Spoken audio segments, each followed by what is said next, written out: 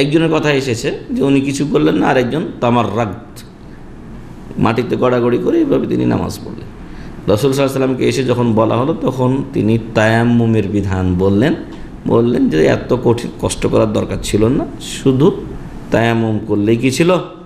যথেষ্ট ছিল। আল্লাহ বললেন যে তোমরা যদি ওজুর দরকার হয় অথবা গোসল ফরজই হয়ে গেছে, কিন্তু পানি পাচ্ছ না, ফাতায়াম্মামু সঈদান তৈবা তাহলে পবিত্র মাটি দিয়ে তোমরা কি করবে?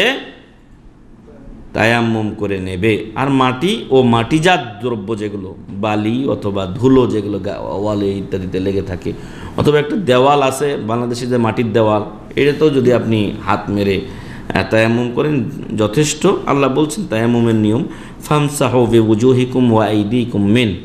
এই পবিত্র মাটিতে হাত মেরে তোমরা তোমাদের দুই হাত তোমাদের চেহারা এবং দুই হাত কি করবে? মাসা করবে। আর সেটার নিয়মটা হলো যে আপনি বিসমিল্লা বলে মাটিতে হাত দেবেন, দুই হাত। তারপর যদি দেখেন অতিরিক্ত ধুলা, তাহলে একটু ফু দিয়ে সরিয়ে নেবেন।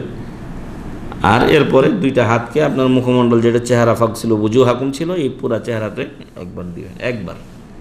এরপর বাম হাতের যে তালুটা, এটা ডান হাতের কবজির উপরে ফিরিয়ে দিবেন।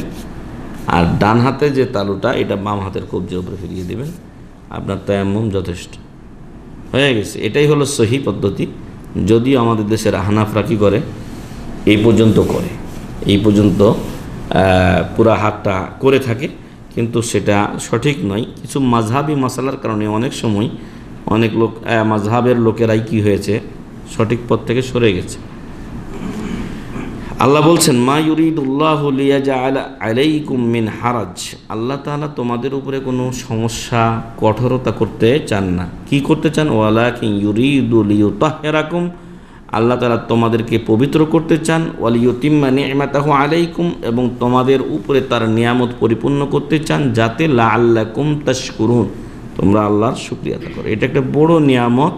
যে আমি যদি পানি না পাই, বড় না পাখি আমার কাছে চলে আসে, তাহলে আমি তেমন করে নেব। এটা কত সহজ একটা কাজ। এজন্য আল্লাহর শুক্রিয়া যে আল্লাহ তারা তিনি আমাদেরকে একটা সহজ দিন দিয়েছেন। আলহামদুলিল্লাহ। সুরাতুল মাইদা ছয় নম্বর আয়াত।